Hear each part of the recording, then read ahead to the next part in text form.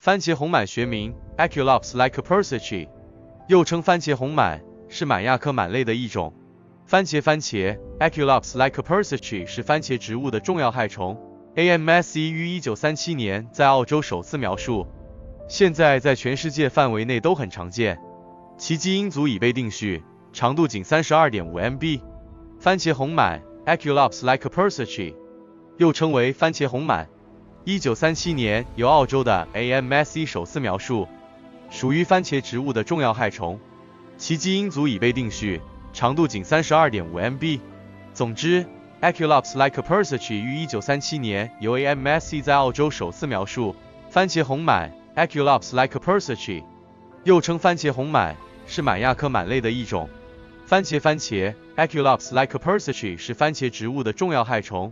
AMSC 于一九三七年在澳洲首次描述，现在在全世界范围内都很常见。其基因组已被定序，长度仅三十二点五 MB。